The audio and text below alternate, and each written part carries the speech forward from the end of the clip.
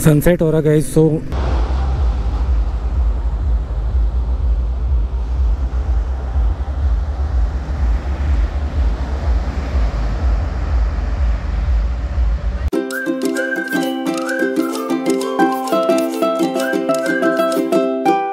good morning guys welcome back to my channel और अभी मैं हैदराबाद हूँ और अभी मैं यहाँ से निकल रहा हूँ गोवा के लिए। ऑलमोस्ट साढ़े छः सौ किलोमीटर का डिस्टेंस है बट टाइम थोड़ा ज़्यादा है क्योंकि आई थिंक माउंटेन्स सिक्सर रोड मिलेगी आगे। और ऑलमोस्ट साढ़े तेरह घंटे का डिस्टेंस है यहाँ से।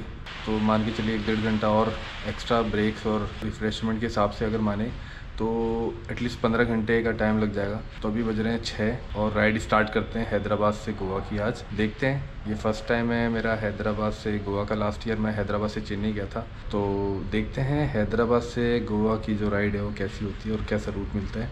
So guys all set bag बाँध लिया अच्छे से बाइक पे और राइड स्टार्ट करते हैं गोवा के लिए यहाँ से। हर हर महादेव, बंसी वाले की जय। सर्दी का टाइम है। बाइक थोड़ा सा टाइम लेगी स्टार्ट होने में।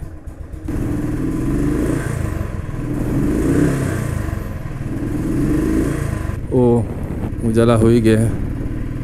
यहाँ से बाहर निकलने से पहले एक बार कैमरा ऑफ़ कर देंगे क्योंकि डिफेंस एरिया है पास में ही। सिक्योरिटी पर्पस से कैमरे को क्लोज़ कर देंगे, फिर जहाँ आगे मौका मिलेगा, वहाँ से स्टार्ट कर देंगे। सो गाइज़ ऑलमोस्ट साठ किलोमीटर राइड कर ली मैंने। पेट्रोल कम था पेट्रोल भरा लिया मैंने और सुबह का टाइम था, थोड़ी ठंड भी लग रही थी, इसलिए चाय भी पी ली मैंने। अब राइड कंटिन्यू करते अपन। यहाँ से ऑलमोस्ट 12 घंटे का डिस्टेंस बता रहा है गोवा। मेरे को जाना कहीं और था but all of sudden plan change हुआ। अब गोवा के लिए जा रहा हूँ मैं। एक बार गोवा कवर हो जाए, उसके बाद देखते हैं कि नेक्स्ट कहाँ जाना है। जैसे जैसे राइड आगे बढ़ते जाएगी थोड़ा सा मज़ा आएगा राइड करने में और लास्ट बार भी ऐसे ही मज़ा आया था। स्टार्टिंग में तो बोर लग रहा था कि अकेले अकेले राइड करे जा रहे हैं, करे जा रहे हैं। बट हाँ सोलो राइड का भी अपना ही मज़ा है। मैंने डिसाइड किया कि गोवा जाऊँगा तो गोवा में मैं हॉस्टल में रुकूँगा। उसके कुछ फ़ायदे भी हैं। पहला फ़ायदा ये है कि कम पैसे में आपको स्टे मिल जाएगा। सेकंड थिंग आपको नए लोग मिलेंगे। उनसे आप अपने एक्सपीरियंस और उनके एक्सपीरियंस शेयर कर सकते हैं। मेरा मानना तो यही है कि अगर आप ट्रैवलिंग कर रहे हैं सोलो तो हॉस्टल ही आप प्रीफर करें, क्योंकि बहुत पैसा सेव कर सकते हैं आप उससे। कल मेरे दोस्तों का फ़ोन आया था जयपुर से, और वो प्लान कर रहे हैं हिमाचल का। तो मेरे को बोल रहे थे एक्चुअली कि जल्दी से ट्रिप कंप्लीट करके आ। फिर अपन हिमाचल चलेंगे। आई एम नॉट श्योर कि उनका जो प्लान है, कितना सक्सेस होता है, क्योंकि हमारा प्लान हमेशा बनता है। अजय, हिमांशु और मेरा। बट लास्ट मोमेंट पे कैंसिल हो जाता है। तो हमारा प्लान सक्सेस वही होता है जो लास्ट मोमेंट पे बनता है। पहले से हम डिसाइड करते हैं तो ट्रैवलिंग कर ही नहीं पाते साथ में। तो मैंने उन पर छोड़ दिया। मैंने उनको बोल दिया कि, भाई साहब, तुम लोग डिसाइड कर लो। जब फाइनल हो जाए तो मुझे बता देना। मैं आ जाऊँगा साउथ से और उसके बाद चल लेंगे हिमाचल। शाम के साढ़े पाँच बज चुके हैं। एक्चुअली गोप्रो में कुछ प्रॉब्लम आ रही थी। स्टार्ट नहीं हो रहा था मॉर्निंग के बाद से। और यहाँ से अभी लगभग पौने चार घंटे का रास्ता है गोवा। बड़ी मुश्किल से गोप्रो चालू है। वहाँ जब पहुँच जाऊँगा, वहाँ जाकर के एक बार मैं चेक करूँगा कि क्या प्रॉब्लम आ रही है। इसमें रिकॉर्डिंग नहीं हो पा रही थी। वैसे हैदराबाद से गोवा का जो रूट है, वो सही है, ज़्यादा ख़राब नहीं है। हाँ बस बीच बीच में विलेज जो आते उसमें स्पीड ब्रेकर बहुत ज़्यादा थे। उस स्पीड ब्रेकर की वजह से जो कांस्टेंट स्पीड थी, वो कंटिन्यू हो ही नहीं पाई। नहीं तो हंड्रेड के अप्रोक्सीमेटली चल रही थी मेरी स्पीड अब शाम का समय हो गया हल्की हल्की ठंड लग रही है दिन में तो बहुत ज़्यादा गर्मी लग रही थी। घाटी चालू हो चुकी है, यहाँ पे ज़्यादा टाइम लगेगा अब। जब मॉर्निंग में अपन ने राइड स्टार्ट करी थी, तब एक्सपेक्टेड टाइम बता रहा था, आठ बजे तक का। और अब बता रहा है, नौ बजे का। यहाँ से गोवा बता रहा है 124 किलोमीटर। बट साढ़े तीन घंटे?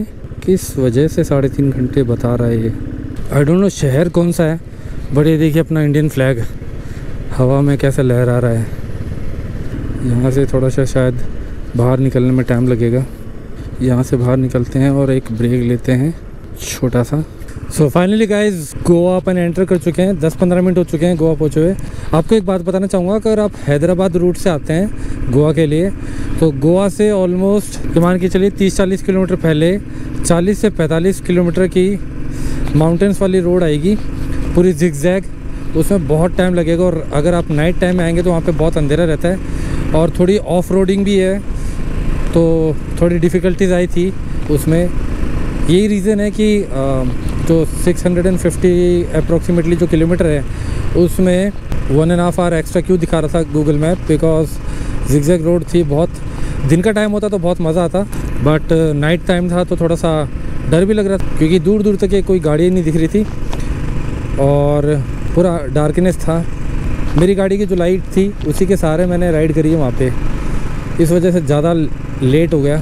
अब यहाँ से पहुँचने का ट्राई कर रहा हूँ मैं। अंजुना बीच के पास में मैंने एक हॉस्टल देखा है। अभी थोड़ा सा आगे चल के कहीं रुकते हैं और उस हॉस्टल की लोकेशन डालते हैं और सीधे डायरेक्ट हॉस्टल चलते हैं चेक इन करते हैं।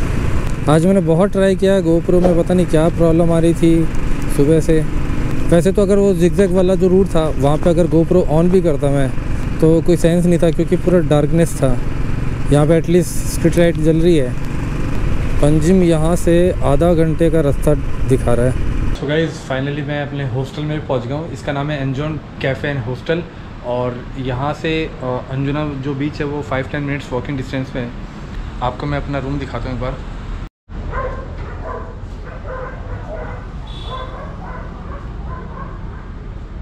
सो गाइज़ मैं अभी अपने हॉस्टल से निकल चुका हूँ रेडी होकर के और अभी मैं जा रहा हूँ अंजना बीच अंजुना बीच जा के थोड़ा एक्सप्लोर करते हैं, थोड़े वहाँ के वाइब्स का मज़ा लेते हैं. तो आप वीडियो में कंटिन्यू बने रहिएगा, मैं आपको वहाँ का व्यू दिखाता हूँ.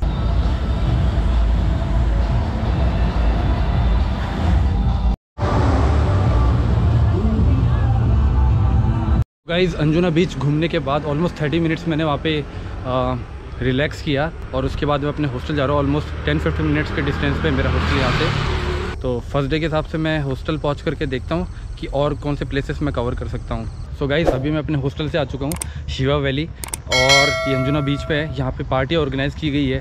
तो जाके देखते हैं कि एंट्री यहाँ पे मिलती है, नहीं मिलती। तो आप वीडियो में बने रहिएगा।